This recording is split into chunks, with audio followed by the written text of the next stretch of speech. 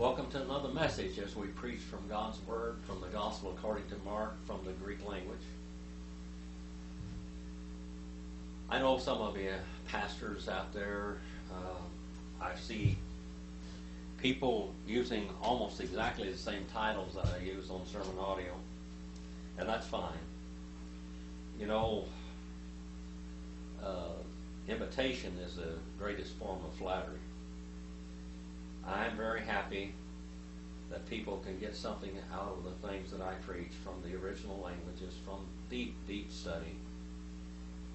I have done this most of my life, and it is a thrill every time I teach God's Word. These are the last few messages that I'm doing this year.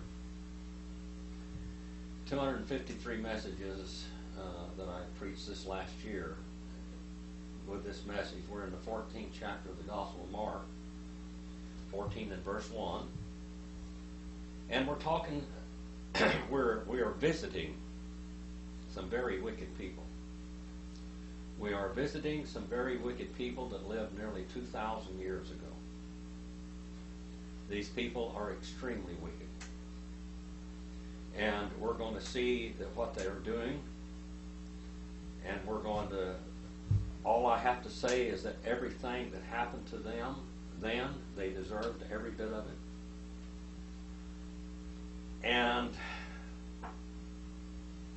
we shall be introduced and visit those people as we go. These are men whose hearts were full of murder, men that hearts were full of murder and sin, and yet they were religious. These are religious people that are horrible sinners, murderers, liars, cheats, thieves, plotters.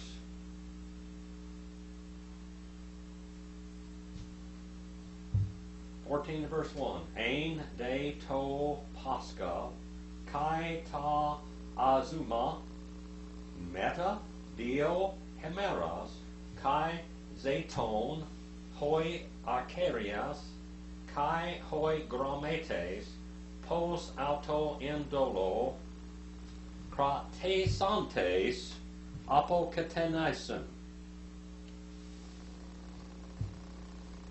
And it kept on being the Passover. This is a very, very religious time of the year for the Jews. This is the time of the year that their sins were forgiven. They went down and they would confess. They would take a lamb per household. And they would keep that that lamb in that house and make sure that the lamb was absolutely perfect in every way. It could not have a flaw in it. And they would keep it in there in the house for a week and look at it and watch it and make sure it had no defects because this lamb would be their sacrificial atonement for their sins. Now 1 John 2 and 2 1 John 2 and 2 is a very beautiful verse because it tells the fulfillment of that. 1 John 2 and 2. See if I can find that quickly. I can quote it just about as well, but I'd like to read it. First John, the second chapter, and verse 2, one of the greatest verses in the Bible.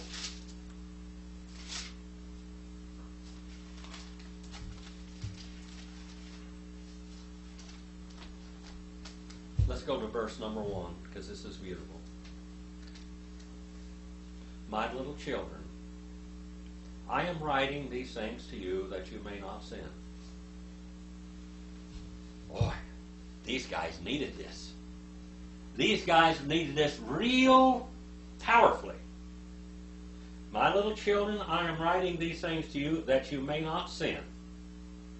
But if anyone sins, we have an advocate with the Father, Jesus Christ, the righteous one.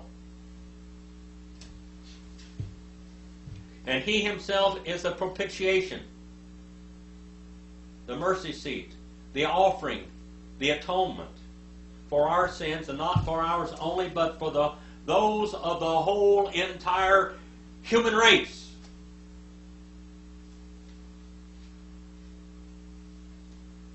And by this we know that we have come to know him if we keep and guard his commandments.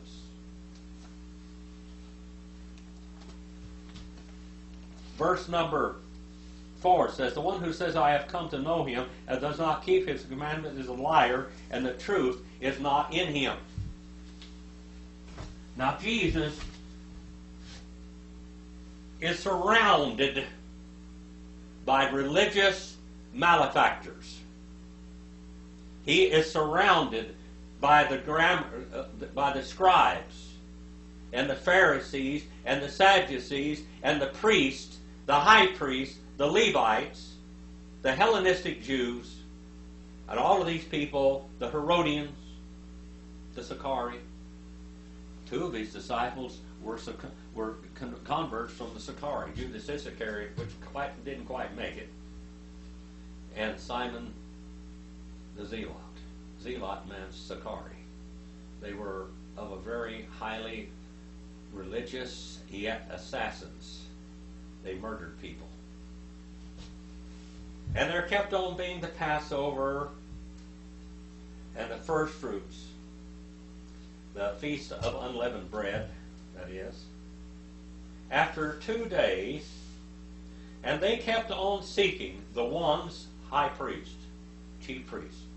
They kept on seeking. That's third person plural, imperfect, indicative, active. A zonton. They kept on seeking Jesus' life. These are malefactors.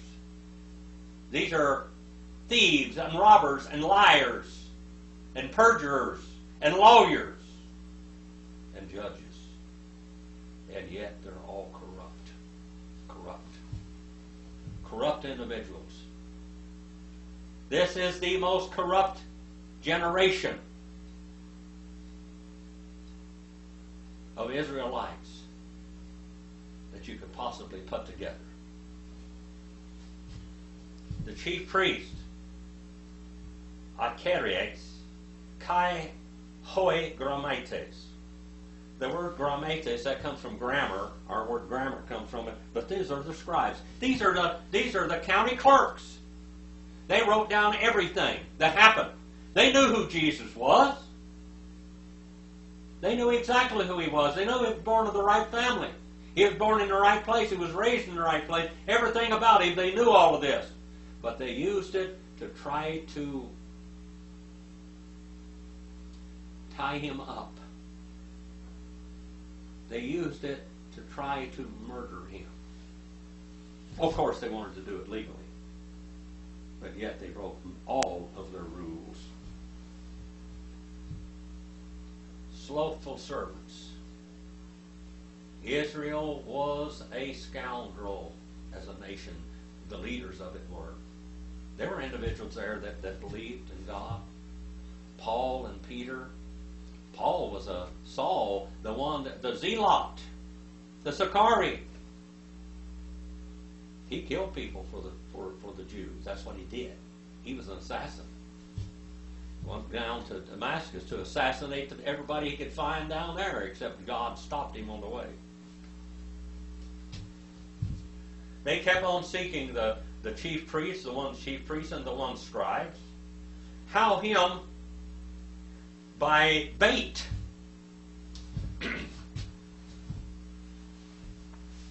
by bait. This is a fishing and a trapping term. It's dolo. In dole. In dolo. This means to put bait out, to entrap somebody. It means uh, like you go fishing. You put something real good to eat on that, that hook. But under that hook, that thing's deadly.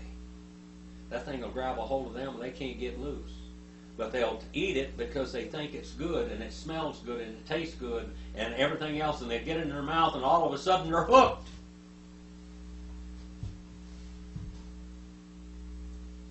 Sometimes in the human race, people are hooked and baited. up here in the mountains a long time ago. About 35 years ago, I was driving up this road right here that goes through my property. And I got up there and it was about this deep in snow, about three foot of snow, and it was all hard packed, solid ice. And I was driving up. It's a real smooth road in the wintertime like that. When the ice, when when it's got snow on it, it's just real smooth. Not bumpy, not washboard or anything. And I was going up there, and I was a tribal hunter for the Western Shoshone tribe. And I'm Indian, and they chose me to be their tribal hunter. And I had one of the other Indians with me, and we were going up the road. And uh, I had a couple of deer rifles on on a gun rack when when you still did that. You know, now it's probably illegal in California, I'm sure. But we're in Nevada. I left guns on the gun rack all the time. They never went in the house. Anyway, we were up here deer hunting, and we were going up there, and I saw a forest ranger, a game warden. He's coming down out of these mountains up here in the wintertime. I said, what in the that guy doing up there? And we stopped on the side of the road. We had to pull off the road, and he went up there, and we opened my window, and I opened my window, and he opened his window, and I'm driving a little Toyota uh, Tacoma, I think, at four-wheel drive at that time, 1988, actually. It was brand new, four-wheel drive. He comes up there and he said, "What are you guys doing? Trapping?" I said, "No, we're deer hunting." He looked back like that because this is not deer season. I said, "We're deer hunting." He said, "Are you Indians?" I said, "Yeah." I said, "I'm the tribal hunter for the Western Shoshone, uh, Hank Patterson's family." Oh, he said, "Good luck." But a lot of people will go up there in the wintertime when there aren't things for animals to eat as readily. Everything's hibernating. But the carnivores are looking for food. And there aren't many rabbits, there aren't many ground squirrels or anything else. Gophers for them to eat or anything. And they're out there and, and they put out these traps and they're a steel trap. And they'll put bait there so they'll go and eat the bait and they'll get their foot caught in it and trapped. That's the word here, dole. This is the word trapped, dolo. To trap him by guile, deceit. You know, there are people out there that. Uh, I was pastor of a big church one time, and I was also a Sunday school teacher in the singles group. And the singles group they called the meat market. And different people would come in there, different guys and different girls. And these people were predators. Predators. They would see who they could date. And I remember talking to girls, oh, he's so wonderful, he's such a wonderful man, he's so honest, and he's so so uh, moral. And I say, watch out.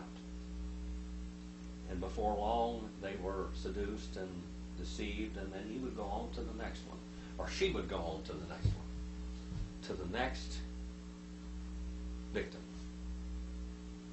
Victims. This, these are predators here.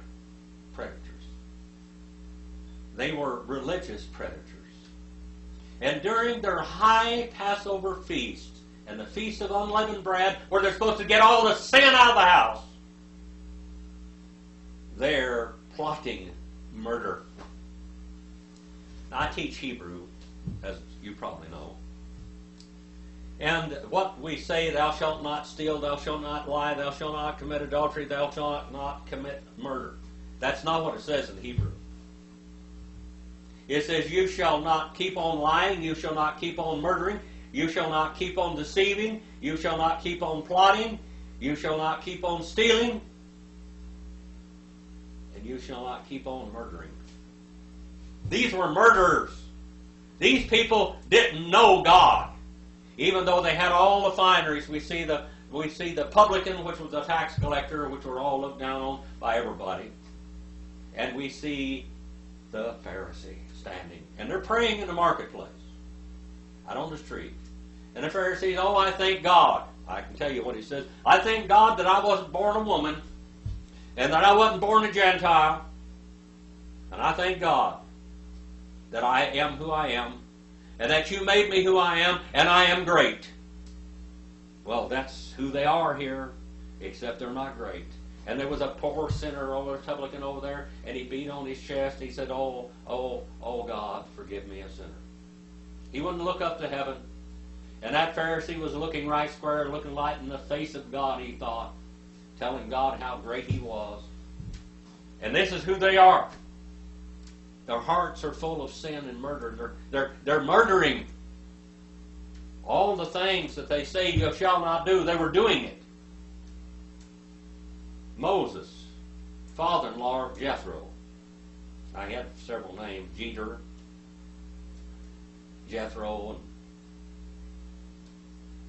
anyway, he uh, he told Moses, Moses, you've got too much work to do here. I want you to pick out 70 men. The 70 men that he told him to pick out had to be beyond reproach. Righteous men, not ones that take a bribe. You can't be men that can't be bribed. And yet, here, the Sanhedrin, these are the people of the Sanhedrin. They are full of deceit. They're full of, of sin. They're full of murder. And yes, the Hebrew says, Thou shalt not keep on murdering, thou shalt not keep on lying, thou shalt not keep on deceiving, thou not keep on coveting. And yet, this is what they are.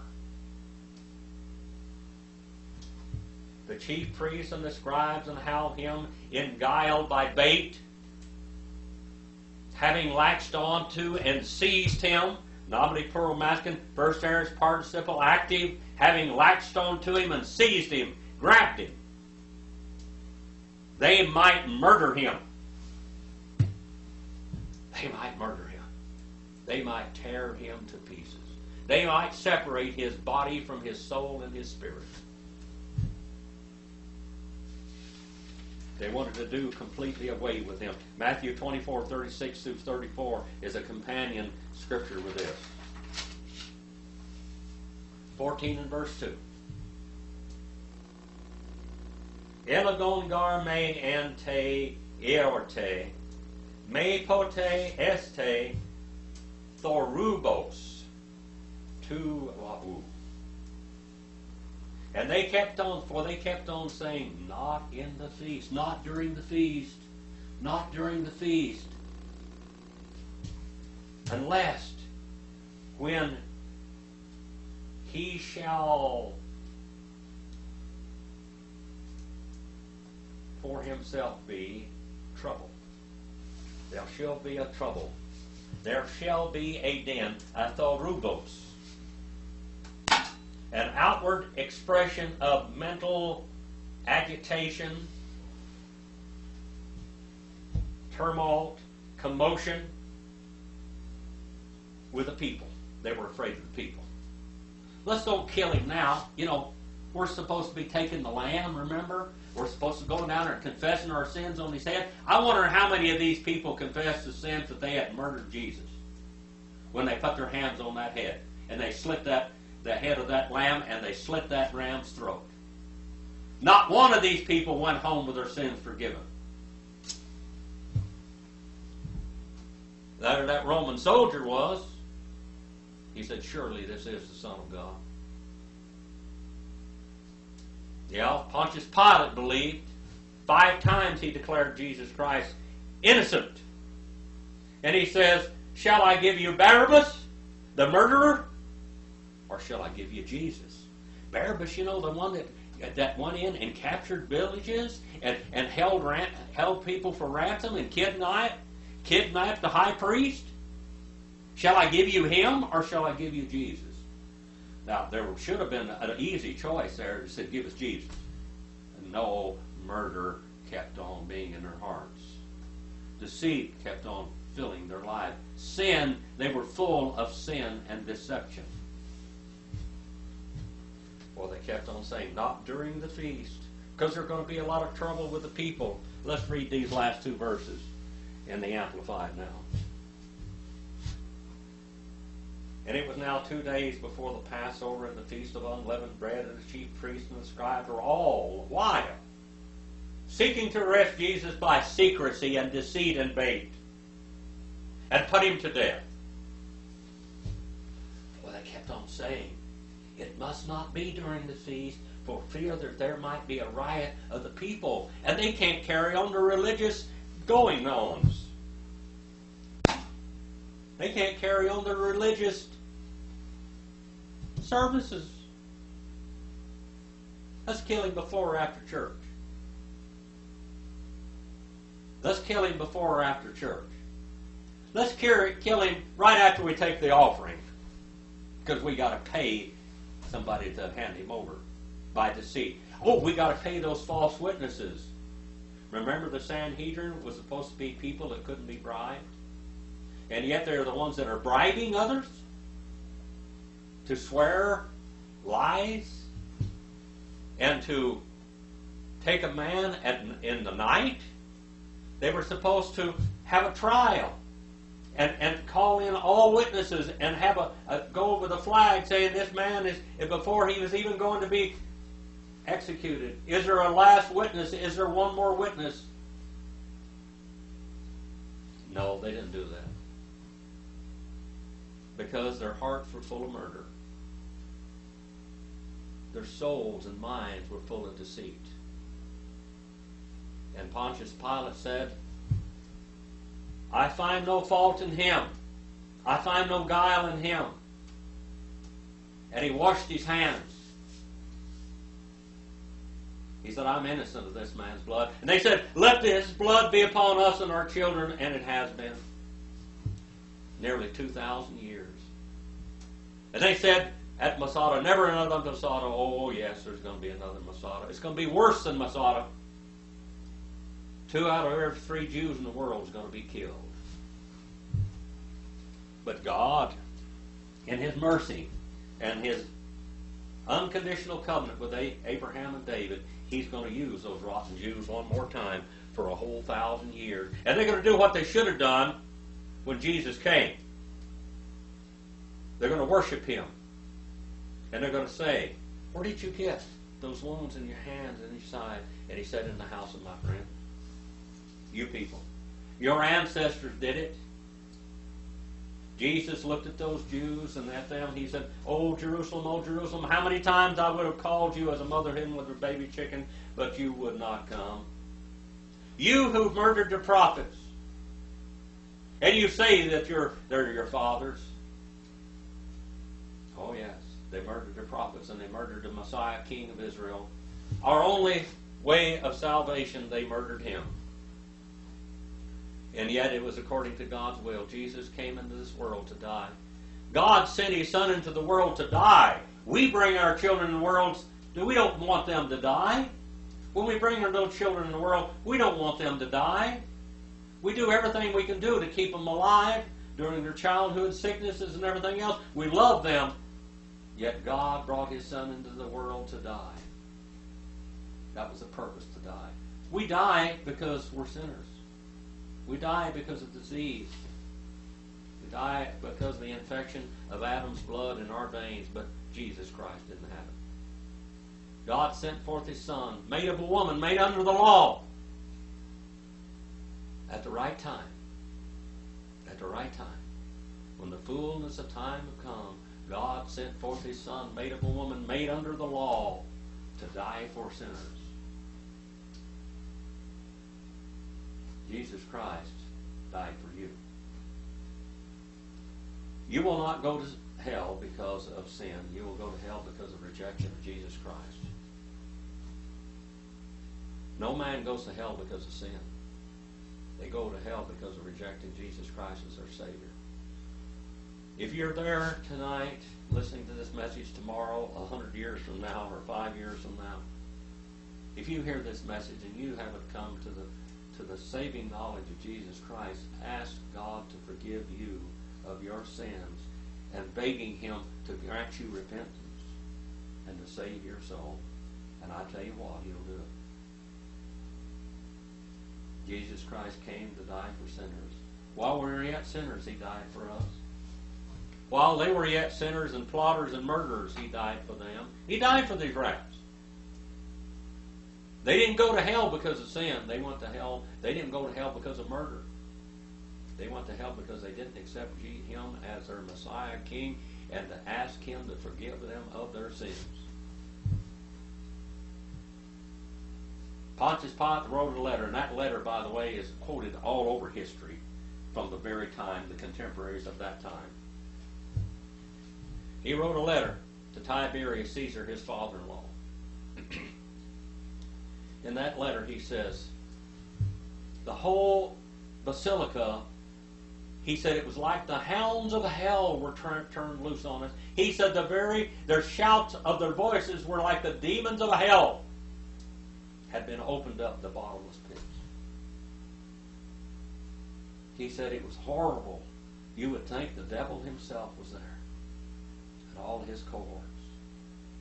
And he says, I couldn't turn him loose. I, I, I had to give them Jesus. He said, I had to give them this man. He said, if it's lawful to call him a man, for I know that he's one of the gods. He said he was the greatest sage of all time, more wisdom than any man, and not worthy to be in the presence of this these things that would sell their own mother for positions. He told him about that. He told him also, he said he walked in and had an interview with him, and he said it was like his feet were fastened to the floor and he could not loose his tongue. He said the man's presence was, it, it was under, otherworldly. Well, Pontius Pilate knew who they were trying to murder. He told Jesus, Jesus, I'll never let them have you. I'll never let them have you. Jesus turned around, he said, Oh, Prince of the earth, when my time comes, there's nothing you can do about it. There's nothing you can do. Pontius Pilate's wife, according to his letter, Pontius Pilate's letter to Tiberius and the Bible, warned him not have anything to do with the trial of Jesus.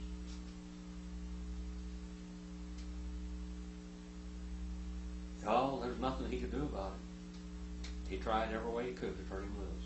He used their own law against them. He said, You people are breaking your own laws. This, this isn't right. He said, This man is innocent and yet you want him to die. And he took him and whipped him. He whipped him to within an inch of his life. And he said in his mind, maybe, maybe they'll have mercy on him when they see he's almost dead. But yet they screamed like hounds from hell, he said, begging, demanding his life so he could do nothing about it. He humiliated him. He had the soldiers humiliate him, everything he could do to try to pacify this mob of sinners with their hearts full of sin and murder. Father, I send this message out. I pray for each and every one that's listening to it that you do in their life some way, whatever they need to, to deal with them. And help them to, in this end of the year message, that they will make resolutions the next year to serve you closer and to do your will forbidding. Father, forgive us for a failure. In Jesus' name.